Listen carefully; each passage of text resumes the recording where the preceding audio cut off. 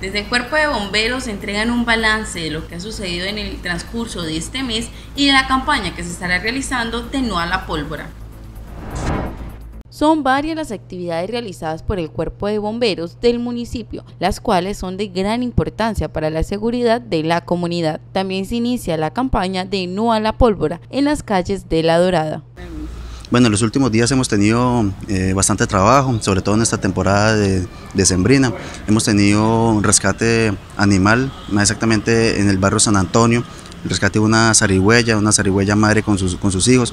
Se le dio este reporte y, la entrega de estos animales a la entrega a, la entidad encargada, lo que es Corpo Caldas. Directamente se lleva a un refugio en el municipio cercano de Victoria Caldas, en el oriente de Caldas se entrega allí, se hace la reubicación de este animal, se hace el cuidado del animal hasta que se pueda defender por sus propios medios y se pueda ser liberado en su hábitat natural. En el barrio San Antonio también tuvimos una quema prohibida en una vivienda. Se le dieron las respectivas recomendaciones de seguridad a la vivienda para que en esta temporada seca, en, los días de verano, no se generen mayores incendios eh, eh, y puedan eh, generar una mayor complicación, sobre todo en esta época.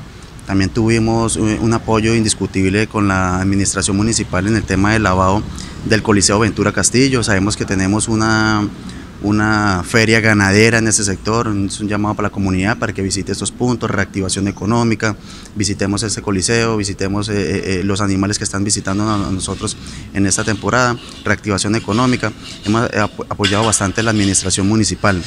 También tuvimos en el sector de Purnio un derrame de combustible, en la glorieta de Purnio, esto genera accidentes de tránsito con los motociclistas, tuvimos que aplicar un químico a serrín para que hiciera eh, el absorbente de este químico y no generara mayor accidentes de tránsito en este sector.